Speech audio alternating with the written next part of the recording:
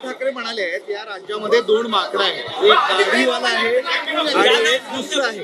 आणि दोन्ही माकडं भांग द्यालेली आहे आणि त्यातून हे राज्याचा कारभार आहे तुम्हाला आणि एकनाथ शिंदेना असं आहे.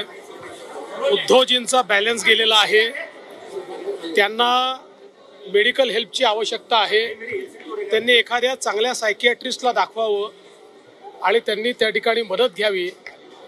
मला असं वाटतं की ज्यावेळेस या स्तराला जाऊन एखाद्या पक्षाचा प्रमुख बोलतो त्यावेळी निश्चितपणे त्याला हे लक्षात येत आहे की जनतेने आपल्याला रिजेक्ट केलेलं आहे. आणि म्हणून आता शिवीगाळ करण्यावर ते उतरलेले आहेत. पण मला असं वाटतं की खरोखर त्यांचं जे मानसिक संतुलन बिघडलेलं आहे त्याकरता एखाद्या सायकियाट्रिस्टची मदत त्यांनी घ्यावी. संध्याकाळी अनिल देशमुख आपली भेट घेतली. असं आम्हाला कळतंय. काल रात्री झाली. आहे भेट. मुक्कामी पण याच हॉटेलमध्ये होते. उदय सामंतांची भेट घेतली त्यांनी कबूल पण तुमच्या माझी भेट अनिल देशमुखांनी घेतलेली नाही. अजित दादा असं म्हणाले की मी सर अजित पवार असंच म्हणाले. ते तर स्पष्टच आहे.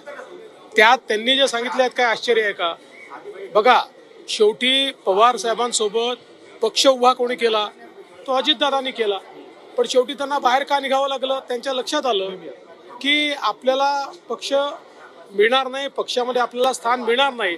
स्थान पवार साहेब सुप्रियाताईंनाच देतील त्यामुळेच ते बाहेर पडले. शरद पवार यांच्या वक्तव्यानंतर असं म्हणत होते की शिवसेना नादिशी पक्ष म्हणून काँग्रेसमध्ये विलीन होईल.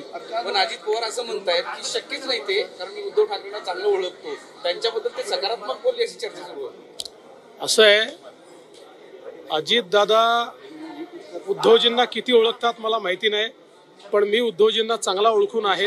सध्या उद्धवजींचे फिलॉसॉफर आणि गाईड हे पवार साहेब आहेत. पवार साहेब जे म्हणतील तेच उद्धवजी करतील.